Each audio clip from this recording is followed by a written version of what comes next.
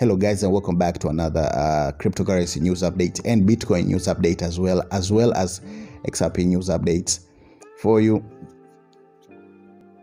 Uh, if you're new to the channel, please do consider subscribing for daily uh, crypto news updates and crypto price prediction and analysis. And uh, yeah, let's get straight into today's story. Now, in its Thursday note that it, it puts out every Thursday, which was actually covered by Business Insider, well, JP Morgan actually stated that Bitcoin's declining volatility is going to actually spur stronger institutional adoption. Now, of course, uh, the volatility on Bitcoin keeps reducing day by day, and uh, a professional investor will actually feel more comfortable about holding the cryptocurrency as part of their portfolios now that its price action is less mercurial. Of course, banking giant JP Morgan also estimated uh, that Bitcoin could actually reach 130,000 US dollars for one single Bitcoin in the long term if it were to match the total private sector investment of gold. Those were JP Morgan estimates 130,000 US dollars for one single Bitcoin in the long term. And in their own words, JP Morgan said mechanically, the Bitcoin price would have to rise to 130,000 US dollars to match the total private sector investment in gold. Of course, the bank sees big upside for Bitcoin if it continues to crowd out the yellow metal, uh, gold, of course, and uh, but of course, it could also take several years before there are a convergence in volatilities between the two assets. Now, Bitcoin is up 102% year to date, while gold is down 9%. So you can see uh, the profitability when it comes to Bitcoin compared to gold right now. And uh, yeah, uh, Bitcoin is actually killing every other sector that you all know.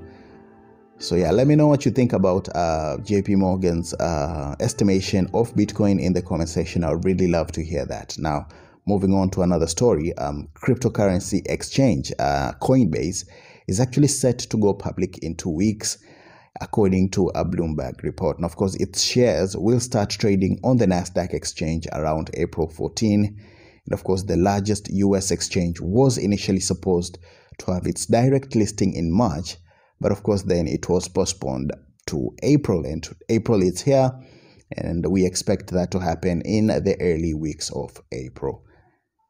And of course, Coinbase's valuation is also expected to reach as high as 100 billion US dollars, which would also make it the biggest public debut for a tech company since social media giant Facebook and uh, also, as we reported, uh, the company also disclosed its direct listing prospectus back in late February. So, yeah, that is what is going on concerning um, uh, Coinbase. And uh, looking at Polkadot, well, um, uh, Polkadot has power, uh, the Polkadot powered decentralized finance project, Acala, has actually received funding from Coinbase Ventures which is an investment arm of America's largest cryptocurrency exchange. And uh, according this is according to an April 1st Medium blog post. Of course, April 1st is Fool's Day. It's April Fool's Day, but uh, yeah, that is what the news came. Those, that is the day the news came out. And of course, last August, if you remember, Acala actually raised 7 million US dollars during its Series A funding round. And Acala, which actually made its debut in January 2020, is offering a complete suite of DeFi products, which includes a multi collateral decentralized uh, stablecoin and an automated market maker, a staking tool, as well as an on chain sovereign wealth fund. Now, also, the project also has its own governance token called Acala Network Token. And as we also reported, Acala rolled out an Ethereum virtual machine uh, this February which made it intolerable which token, with tokens issued on the second largest blockchain. And of course, in March, the project won the very first parachain slot on Polkadot's Rococo testnet.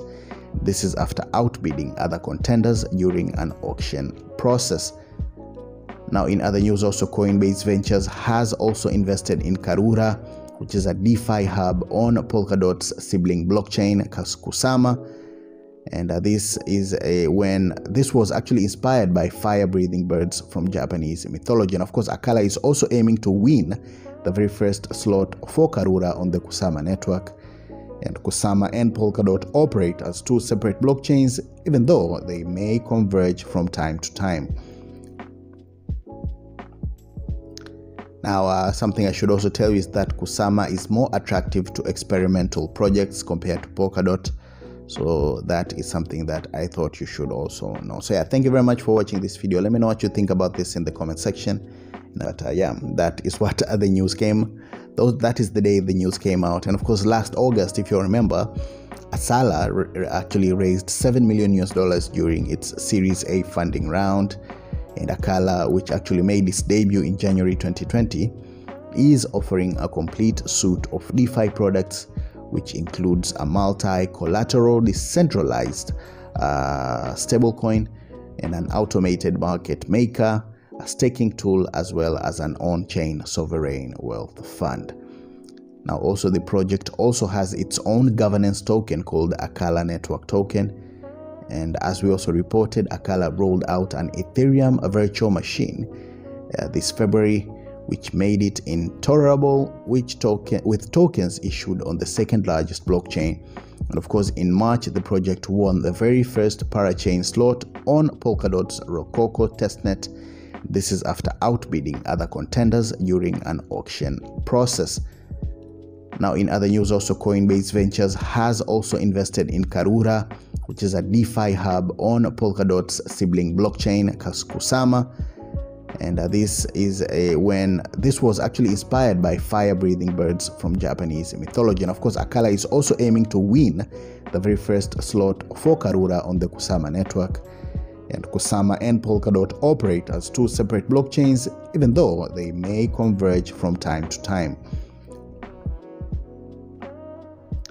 Now, uh, something I should also tell you is that Kusama is more attractive to experimental projects compared to Polkadot. So that is something that I thought you should also know. So yeah, thank you very much for watching this video. Let me know what you think about this in the comment section. And until the next update, bye bye.